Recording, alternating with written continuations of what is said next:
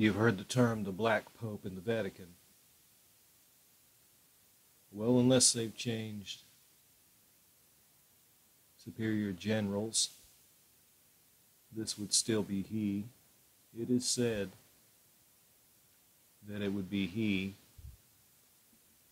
Adolfo Nicolas Pachon.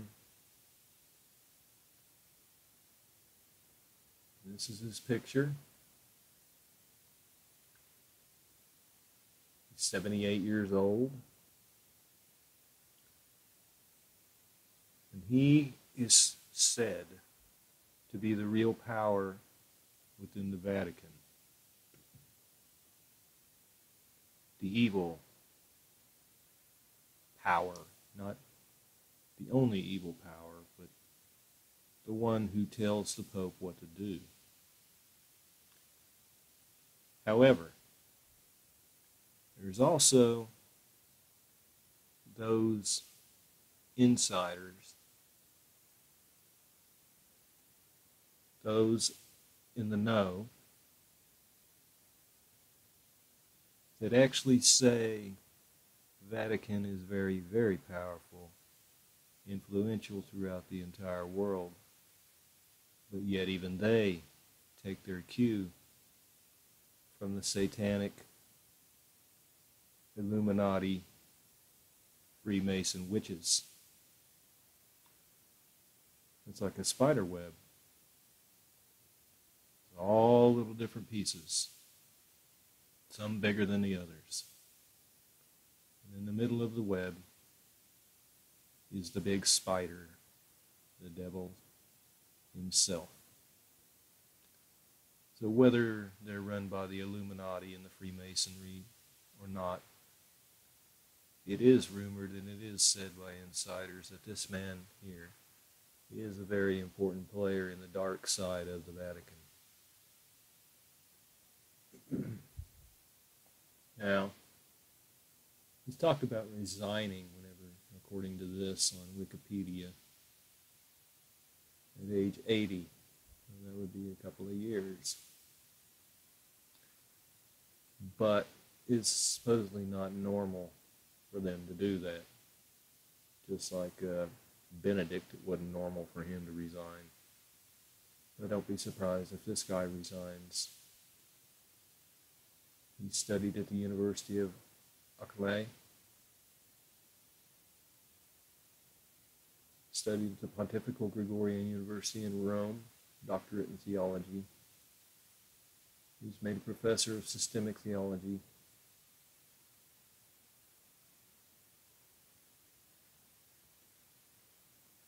He is the superior general of the Society of Jesus.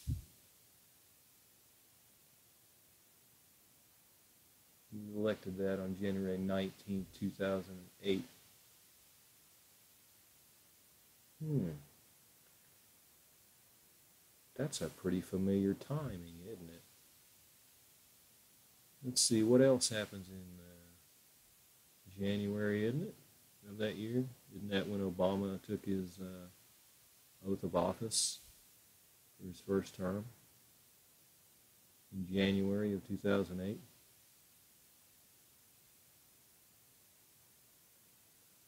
So I wanted everybody to know because maybe they don't know.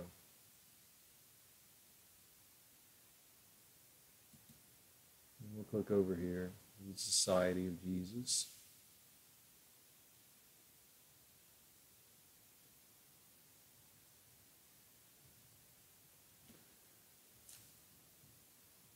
It is a male religious congregation.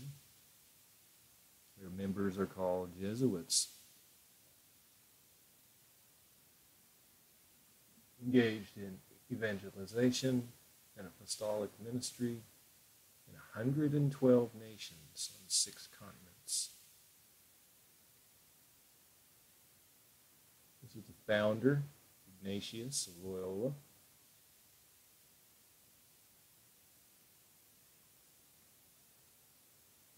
They are consecrated under the patronage of Madonna della Strada, a title of the Virgin Mary. And of course, it states it's led by Adolfo Nicolas.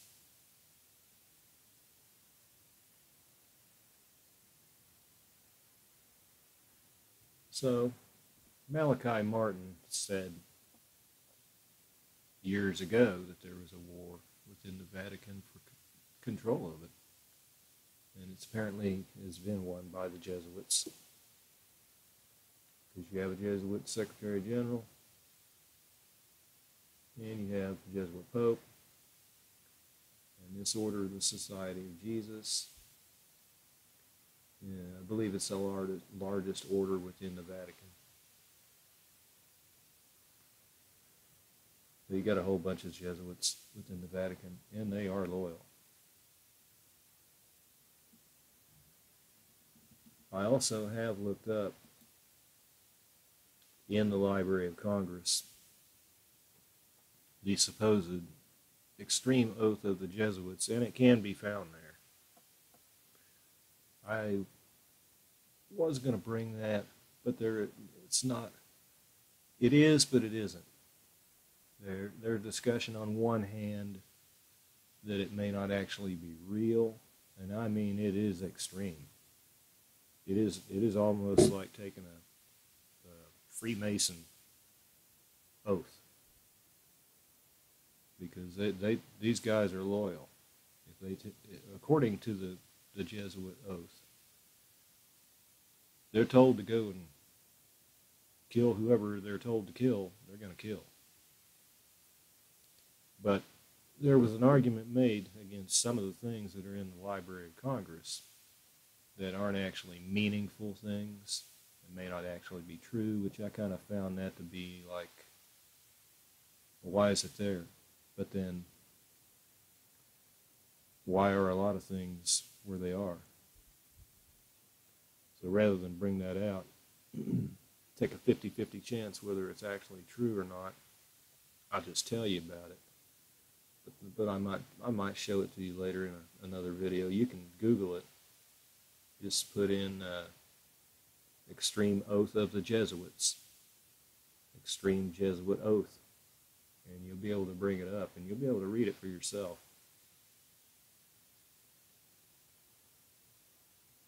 If it is real,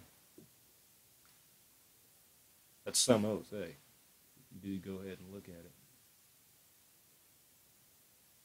But the Vatican, uh, and I'm not bashing Catholics or anything, but I'm telling you, I'm telling everybody this for their own good. Because we got brought up as little kids by our moms and dads or grandmas or whoever raised you, and they they were the same way as little children. And we knew holidays is what we knew them. We didn't really probably pay good attention and, and ask questions. Why? Why are these things? You know, what are they really?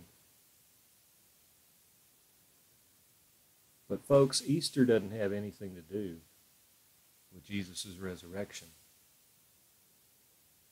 The Easter bunny, the Easter eggs, the wicker basket, it doesn't have anything to do with it. That all goes back to ancient Babylon. That all goes back to Nimrod and Semiramis and Tammuz. All right? You just got to do a little work and look look into things and use that gray matter that God put between your ears. There's nothing in the Bible that says on this day adopt a tradition to where you go out you hunt Easter eggs and there's this bunny, Easter bunny, as a symbol. Nothing. The bunny is a symbol of fertility because it's the fastest procreating animal on the planet. They have babies like crazy. Baby bunnies. Semiramis was a fertility goddess. And the old tale was she was reincarnated and came down from the sky in a large egg, multicolored egg. And the egg drifted into, uh, fell into a a stream or a river, and it drifted up into wicker reeds. That's why you have wicker baskets. There's a lot of pagan holidays that don't have anything to do with Jesus' death or resurrection, or even birth, possibly. Because there's also a passage in the Bible that talks about how they cut down a tree and they fix it with hammer and nails and they adorn it with gold and silver. And God is looking at this and he's not liking it. You just have to read these things and understand. Now, this religion of Catholicism has it, what they've done, and I'm stepping on toes, and I hope it hurts because maybe it'll make you think. You've got to think. Constantine created the universal religion. He adopted paganistic rituals and beliefs and he merged them in with this idea, this new idea of Christianity, so that he could appease the pagans and draw those in, and appease the Christians and draw those in, and then make one big happy family. That's why you see the Pope wearing the mitre.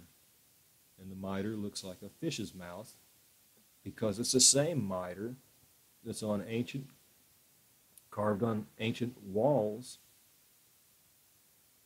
And that was a worship of Dagon, the fish god. That's why you see these things. And the Vatican has has admitted basically that they did adopt these things from Babylonian pagan practices, but that they, quote, baptized them, unquote. And I guess all you can get out of that is they, they cleaned them up and blessed them and said, let's just go ahead and use them. You know, it looks, the mitre looks cool and this, that, and the other, and we're going to use it too. Hogwash. You know, you find God, you develop a relationship with Him, you put Him first in your life. So when you go into these institutions, there's a lot of stuff that you're looking at that you may not have any clue what it really is, and it's your job to find out what it is. Don't take these people's words for it. Do the work on your own. We're, we're living in a time now where you, you've got to do this. God doesn't want you to be a spectator. He doesn't want you neutral. You're living in an age now where this is this is coming up on the final ending of the chapter. You're going to be a player. He wants you to be an active participant in this generation. There's a reason that we're living in this last time.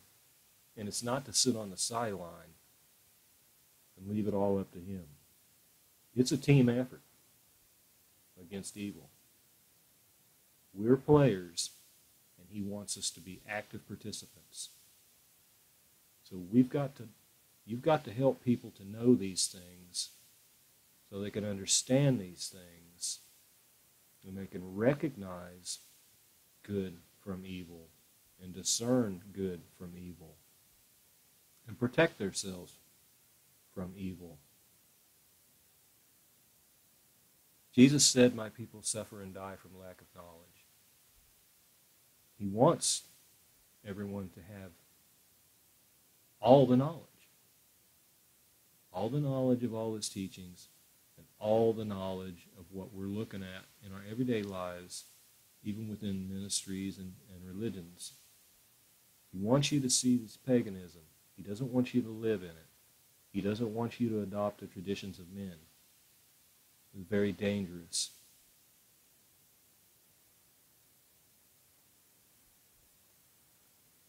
And that's what I wanted everyone to know, basically, within this Vatican.